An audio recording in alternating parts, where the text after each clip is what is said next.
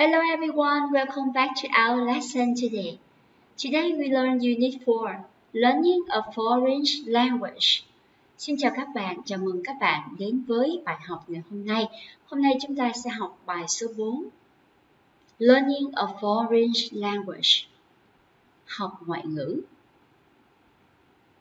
Các bạn cho cô biết là chúng ta đang học uh, ngoại ngữ nào vậy? Dạ, yeah, tiếng Anh đúng không? How did you learn English? À, bạn học tiếng Anh như thế nào? Ở đây cô Trang có một list cho các bạn, các bạn kiểm tra và các bạn ờ, đánh dấu vào những cái công việc mà mình hay làm à, khi mình học tiếng Anh. The first one, do the homework, làm bài tập về nhà. Two, do more grammar exercises in grammar books. Làm nhiều bài tập ngữ pháp trong sách ngữ pháp.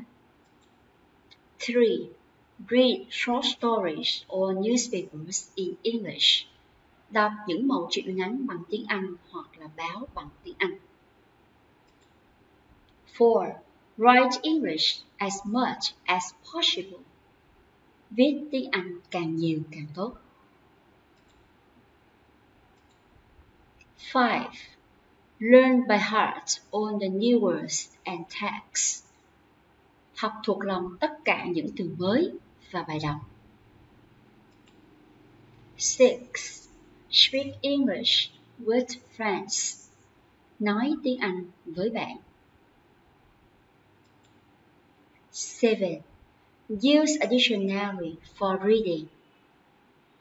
Sử dụng từ điển trong khi đọc.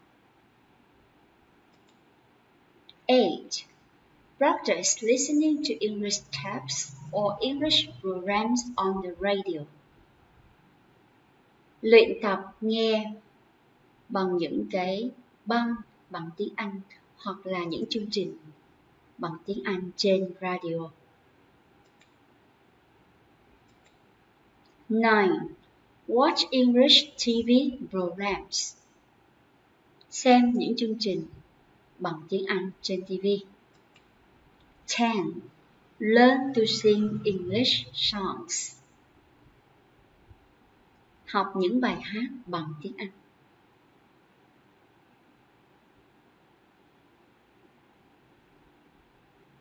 Các bạn lựa chọn sau đó mình viết và tập cho cô nha.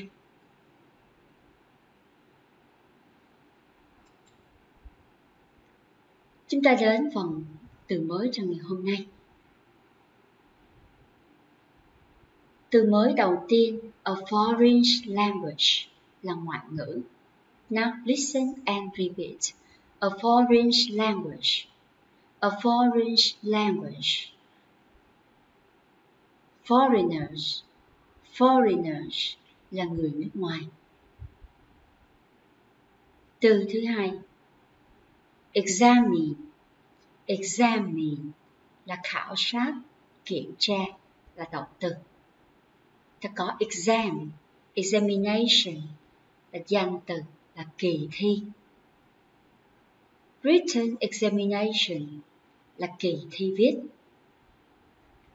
Examiner là giám khảo. Examinee là danh từ, có nghĩa là thí sinh. Và mình cũng có một cái từ khác cũng có nghĩa là thí sinh, candidate. Now listen and repeat.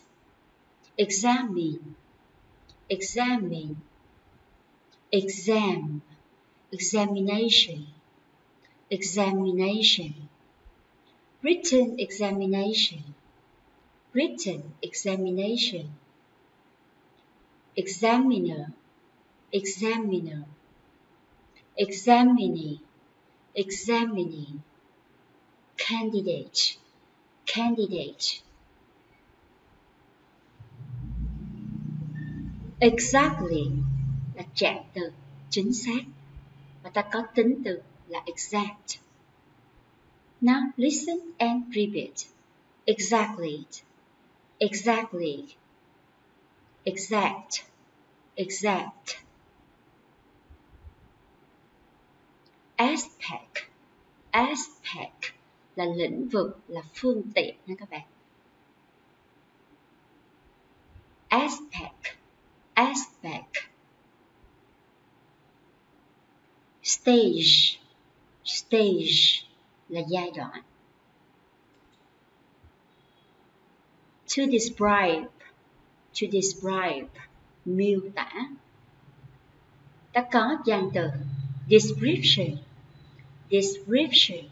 Sự miêu tả. Descriptive. Descriptive là tính từ. Các bạn để ý cái cách à, đổi từ động từ qua danh từ nhé. Describe nó tận cùng vào be nhưng description ta phải đổi be thành p t i o n ha description. Và tính từ descriptive. Và từ cuối cùng attend attend là động từ tham dự, có mặt. Attendance attendance, sự có mặt. Attendant attendant là danh từ, là người phục vụ.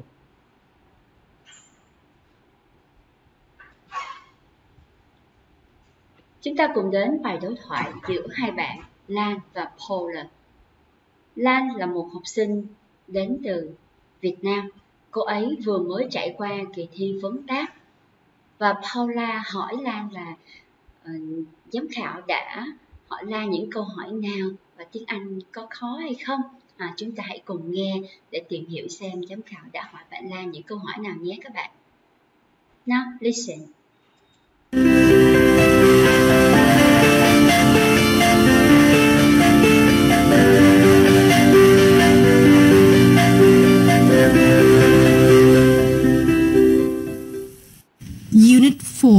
Learning a Foreign Language.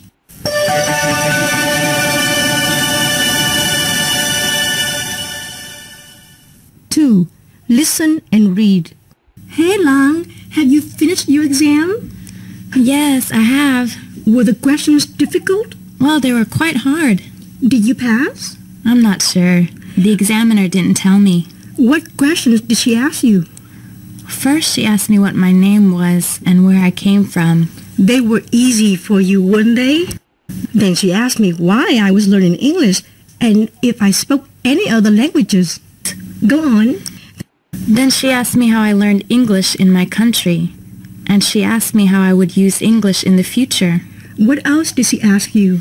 Oh, Paula, let me try to remember. Ah, she asked me what aspect of learning English I found most difficult.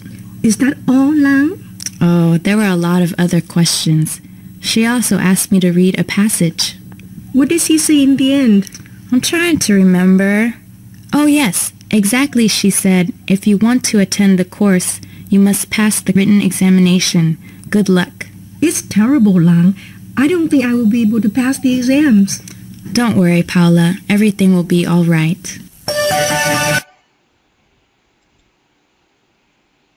chúng ta đến bài tập áp dụng ở trong bài này chúng ta phải nhớ lại cái bài đối thoại ha các bạn mở sách ra coi kỹ lại bài đối thoại để mình lựa chọn những cái câu hỏi nào mà vị giám khảo đã hỏi bạn Lan nha What exactly did the examiner ask Lan? Look at the list of questions and check the boxes. Chúng ta có 14 câu hỏi.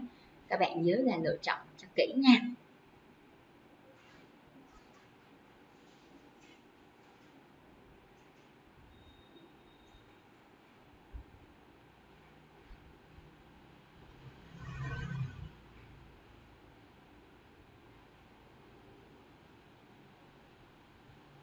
Now let's check the answer. The first one.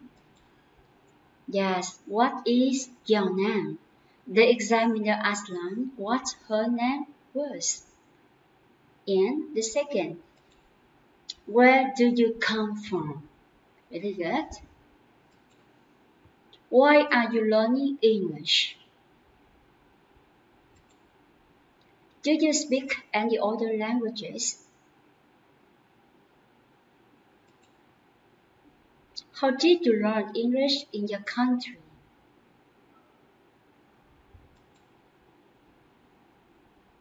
How will you use English in the future? What aspect of learning English do you find most difficult?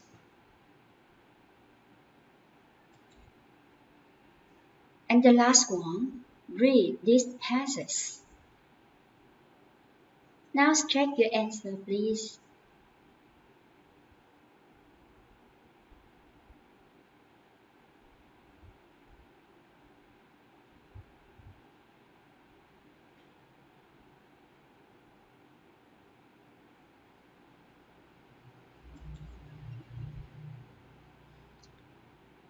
Chúng ta đến bài tập áp dụng. Trong bài tập này chúng ta phải chọn đáp án đúng nhất. Ha. Chúng ta có 6 câu hỏi. Các bạn dừng màn hình lại và các bạn làm viết và tập cho cô nha.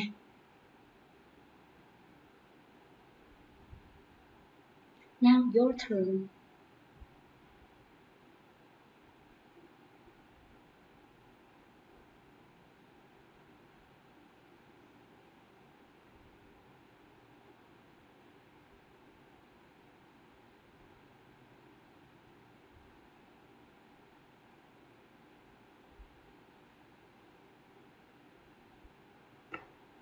Now let's check the answers. Number one, what aspects of learning English do you find the most?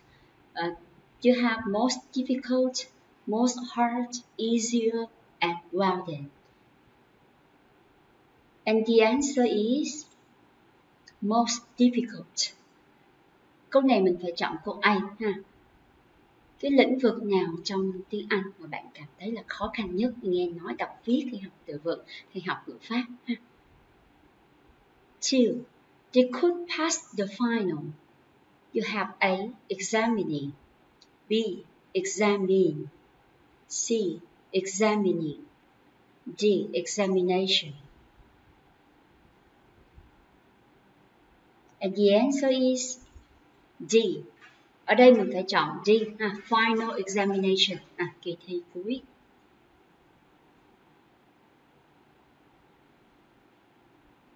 Three, she asked me where I from. You have come, came, to come and coming. Ở đây là câu hỏi trong câu tường thuật ha các bạn. Nên mình phải dùng là D. She asked me where I came from. À, Cô ấy đã hỏi tôi là tôi từ đâu đến. 4. You want to attend the course. You have to pass the examination. You have if, because, so, when. Ở đây chúng ta chọn đúng rồi, A. If if you want to attend the course, you have to pass the examination đây là câu mình để if đúng không bạn à, nếu bạn muốn tham dự cái khóa học này á bạn phải tạo cái kỳ thi này Five. I like to a three-month course in computer science. You have signed up for participate, communicate, book. Yes, I'd like to sign up for a three-month course in computer science. 6. The questions weren't hard, you were they, and you have at, in, or for. And the answer is 4. The questions weren't hard for you, were they? Những câu hỏi này thì không khó với bạn phải không? À, ở đây mình đối với bạn mình dùng for you ha.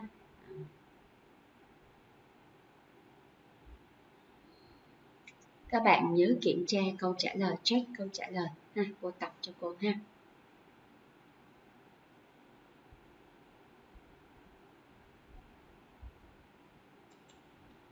Chúng ta đến bài tập tiếp theo. Bài tập này use the correct form of the word in each sentence. Cho dạng đúng của từ trong ngoặc là mình phải quyết định coi từ đó là danh từ, tính từ, động từ hay là trạng từ ha các bạn. Nào các bạn làm nha, chúng ta sẽ kiểm tra sau.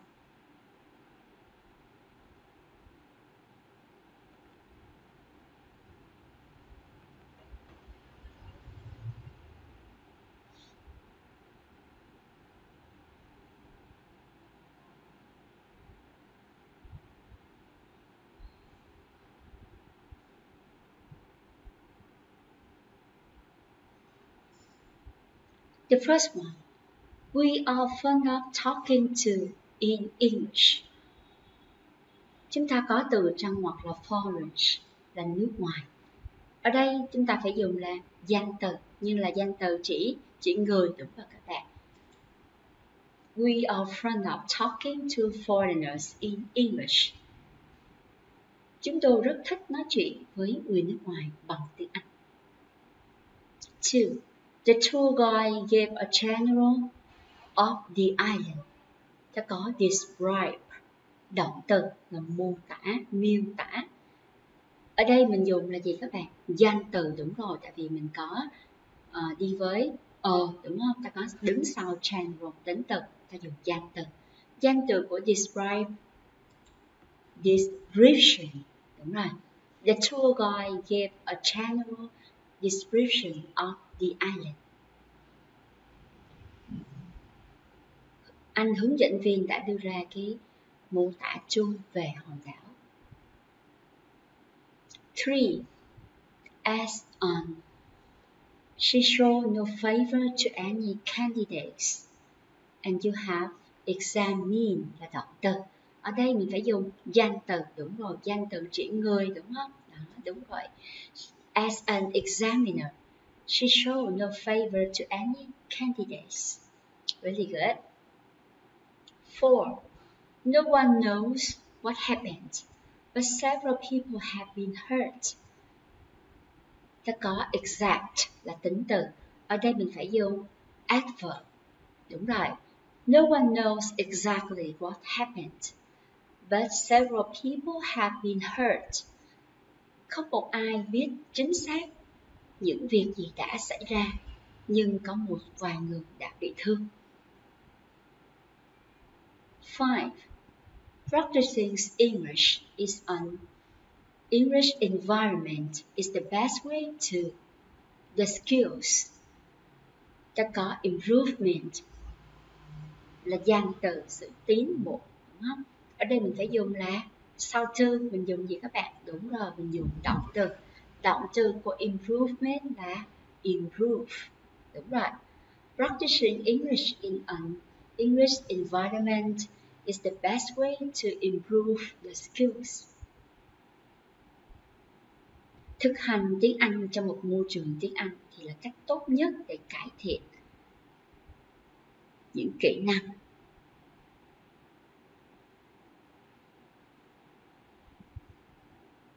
Các bạn nhớ chép những câu này cô tập cẩn thận cho cô nha.